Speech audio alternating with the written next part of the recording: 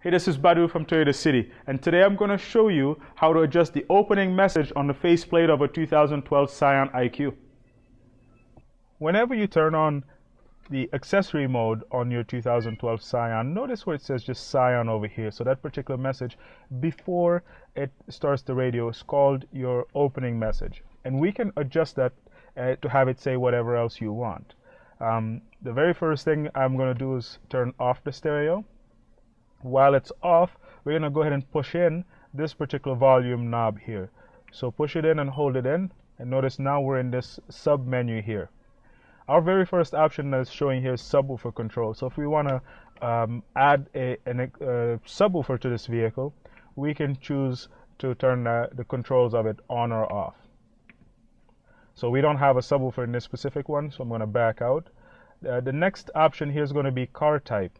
And when I select it, it allows me to adjust the stereo um, to fit this particular IQ as opposed to um, a TC, XB, and so on.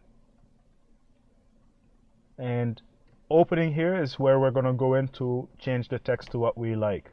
And we're going to use this particular knob to uh, make the adjustment. So I'm going to go, let's say, call it my Scion. So we're going to go to the M. And I can go to the next tab and notice the cursor moving here and look for the Y.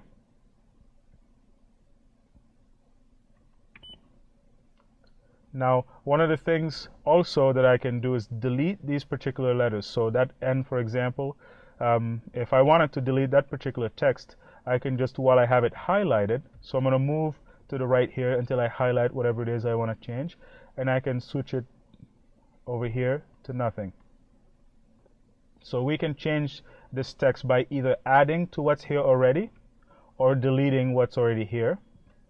So notice I'm selecting every single one of them and just uh, going just before the A to the left and that deselects it. Now from here I can also add not only letters but we can also do numbers. So you'll notice once I get past the Z we have our numbers and we have a few different characters that we can use as well. So you can then use any of these characters, numbers or letters to customize your personal message. So for the sake of this exercise here, I'm going to just st stick to the my. And when I go all the way above the A, it won't have anything here. So now that's the message we've selected to use. And I can back out of here. So the next time I go to start my Scion, the message that's going to come up here is going to be a little different. So this is going to be the message that we have added over here. I'm Badu from Toyota City. Thank you for watching.